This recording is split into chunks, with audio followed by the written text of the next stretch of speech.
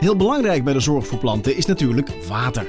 Planten overleven niet zonder, maar ze overleven ook niet als je ze te veel water geeft.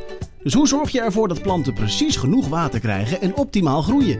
Nou, daarvoor heb je nodig planten, potten, een gieter en natuurlijk water via een tuinslang bijvoorbeeld. Houd je allereerst aan de vuistregels voor het watergeven. Houd de aarde vochtig, maar niet nat. En geef nooit water in de volle zon, maar bijvoorbeeld in de avonduren. Toch vereisen een stortbui of extreme droge periodes extra maatregelen.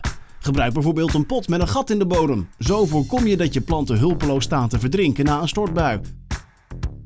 Of maak gebruik van hydrokorrels. Die zijn gemaakt van een soort klei. Ze nemen daardoor makkelijk water op en laten dit langzaam weer vrij.